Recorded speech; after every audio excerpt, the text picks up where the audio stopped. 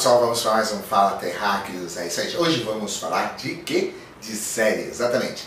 13 Reasons Why, exatamente. Está na sua terceira temporada na Netflix. E a pergunta que fica no ar é: por que uma terceira temporada?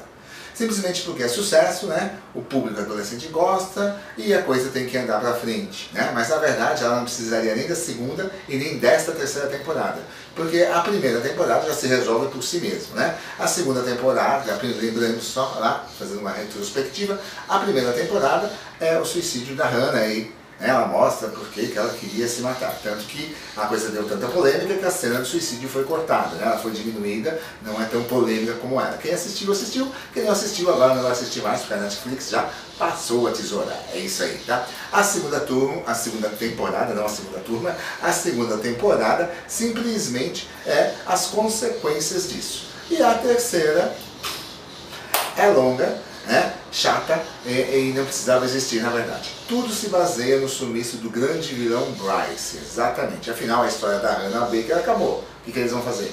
Então se resume no sumiço do Bryce, que aí se descobre que ele foi morto, e aí a história passa a se rodar em cima de quem matou o Bryce. E a partir daí, a história passa a ser contada em flashbacks, exatamente, idas e voltas do presente ao passado, né? e, e um interrogatório que não tem fim, é chato. Bom, a Anne é uma nova personagem que acaba se envolvendo com todo o grupo, ela acaba namorando o Clay e vira amante do Bryce, exatamente. O Clay, então, então, o grande mocinho da história, acaba virando o quê? O grande suspeito de matar Bryce e vai até preso, exatamente. Né? Nas lembranças da Anne, percebe-se ali que a série tentou amenizar as coisas que o Bryce fez durante a primeira e a segunda temporada, né? É, contando ali os problemas que ele teve, por que ele chegou a tais é, atitudes que a pessoa que viu, que vocês vão ver, vão entender. Não vou jogar spoilers. Né?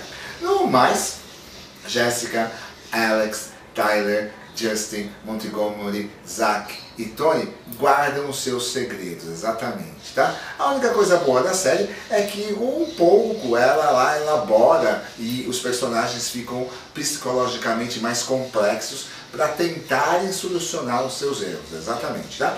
A série também mostra abusos, assédio, transtornos, vícios, mas isso de uma grande salada que não chega a lugar nenhum e com tantos assuntos a série se perde. Nos últimos episódios, né, a revelação de quem matou o Bryce é ali mostrada ao público. Só que o grupo todo acoberta o real assassino e quem leva a culpa é o Montgomery, que já havia sido preso, ele acaba morrendo na cadeia, aí dá-se um jeito de culpá-lo pela morte do Bryce.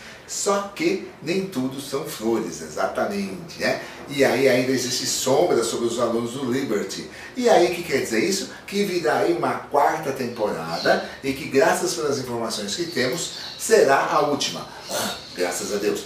Ah, tudo poderia se resolver em cinco episódios. 13 é demais, mas provavelmente a última temporada terá 13 episódios. Afinal, o nome da série é 13 Reasons Why fazer o quê, né? É isso aí. A série está na Netflix. Curtam, se gostem, tá? Pra quem não conhece, pode dar uma olhadinha, mas não se envolvam muito não, tá? Porque a última e essa, essa última temporada, a terceira, é muito chata. É isso aí, gente. A gente volta a qualquer momento com um novo Fala Terráqueos. Deixem seu like, seus comentários, se inscrevam no canal e não se esqueçam do que? Dos pidandelos às quartas e às sextas. É isso aí, gente. Até mais um novo Fala Terráqueos.